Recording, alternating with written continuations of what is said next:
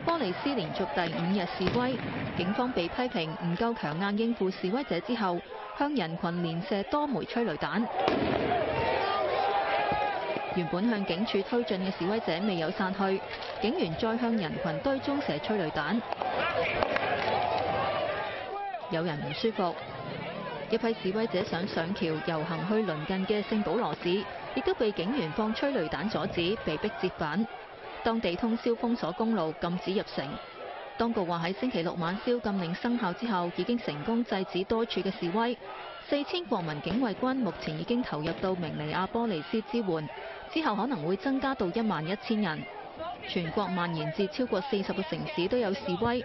費城有三千人喺市中心示威，演變成衝突，最少四架警車同市內多處被縱火，十幾個警員受傷。部分人冇理會宵禁令，繼續上街搶掠店鋪，同企圖破壞前市長嘅雕像。市長譴責暴令行為，宣布星期日晚繼續宵禁。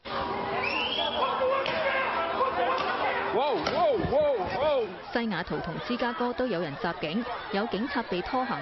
多處都有電視台同記者被針對或者襲擊。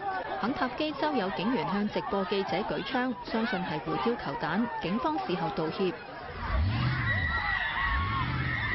佛羅里達州塔拉哈西有貨車撞向示威人群，民眾四散走避，司機後嚟被帶走。訴聯升級，又喺美國嘅華人話係近年最嚴重。